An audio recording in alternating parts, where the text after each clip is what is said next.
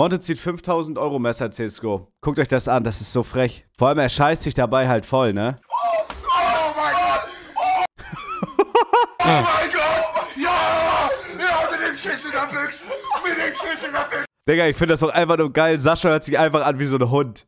Kennt ihr das, wenn so, so ein kleiner Hund sich freut, wenn man nach Hause kommt? So richtig kleiner, hässlicher Scheißhund. Das ist so geil. Er ist einfach nur am Rumquieken. Oh, oh mein Gott! Oh mein Gott! Ja! Ja, mit dem Schiss in der Büchse! Mit dem Schiss in der Büchse! Mit dem Schiss in der Büchse! Ja!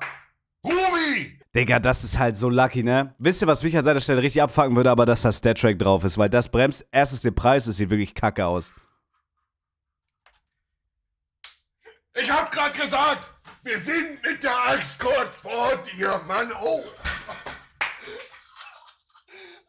Oder das ist ja eine komplette, wirklich komplette Eskalation da. Ey, aber ich gönn's dir vom Herz. Natürlich muss man halt auch so damit rechnen, oder man muss das Ganze auch so angehen. Der junge Mann hat halt faktisch, es passiert sehr viel in diesem Clip, ja.